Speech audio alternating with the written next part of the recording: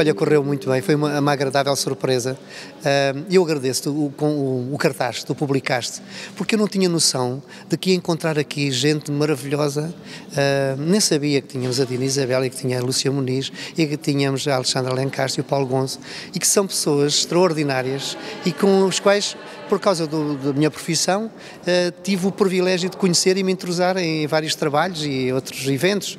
E é muito, muito, muito bom. Foi uma agradável surpresa que não estava à espera. Eu pensava vinha uh, para uma sessão onde eu, pronto, às vezes já me, já, já me tem acontecido, não é? Ser eu o protagonista.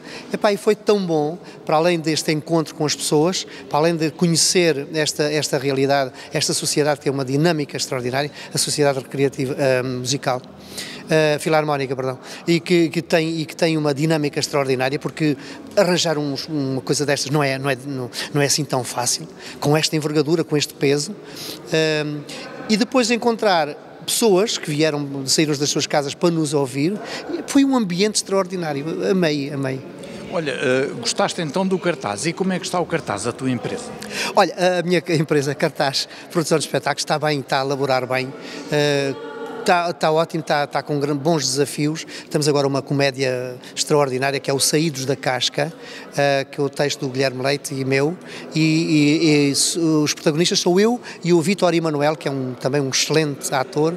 E, e, nós temos, eh, graças a Deus, enchido as nossas casas do público que nos ama e que gosta. Aliás, a peça que tu conheces um, é uma lição sobre a diferença entre televisão e sobre o teatro. E, e onde apresentamos e mostramos, demonstramos que o teatro é muito mais genuíno, mais presencial, mais uma ligação afetiva forte do que a televisão.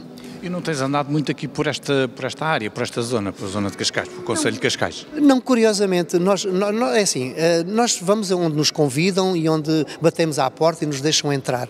Há casas que têm algum preconceito em relação a determinado tipo de trabalho, seja o teatro da comédia, ou revista, muitas vezes temos dificuldade de penetração mas só uma vez, porque depois passam a reconhecer o nosso trabalho e abrem-nos as portas sempre que eu entender, porque nós temos uma, uma postura profissional uh, muito, muito correta. Uh, eu tive bons mestres, felizmente, e onde afastámos, uh, por exemplo, o desrespeito pelo público é uma coisa que não, não, não temos, e isto porque cresci a ser assim enquanto artista.